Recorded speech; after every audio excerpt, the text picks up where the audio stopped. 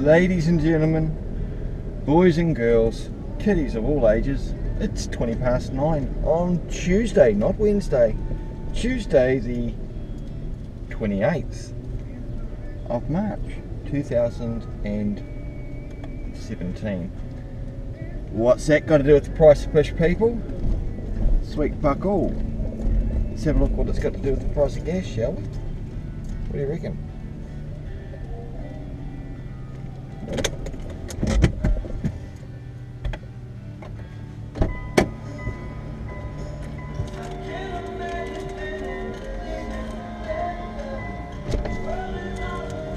Tonight,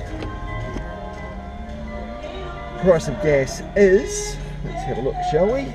It is no change at all. It is $1.98 for 95, $1.89 for 91 and diesel at $1.20 a litre. It's been almost five weeks now, no change. Until next week, catch you then. Bye.